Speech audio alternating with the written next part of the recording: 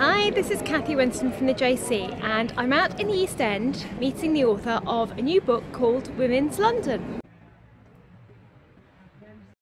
This plaque commemorates the birthplace of Miriam Moses. Miriam Moses was a social worker and um, is is, is very special for so many reasons.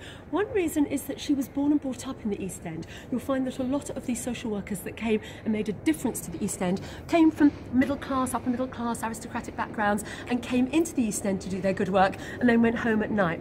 But she was born and brought up here.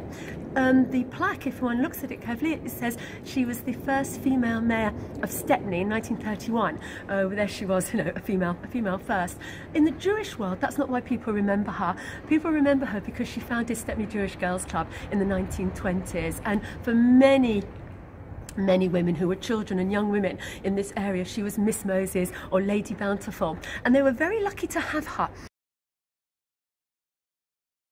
There's a number of women here commemorated. So for a start, Ada Lewis and Bearsted Court are named after two of the early um, philanthropists who donated money to the Jewish Maternity Hospital. Ada Lewis, well, Lord Bearsted was Lord Bearsted, he's a man, so we don't have to dwell on him.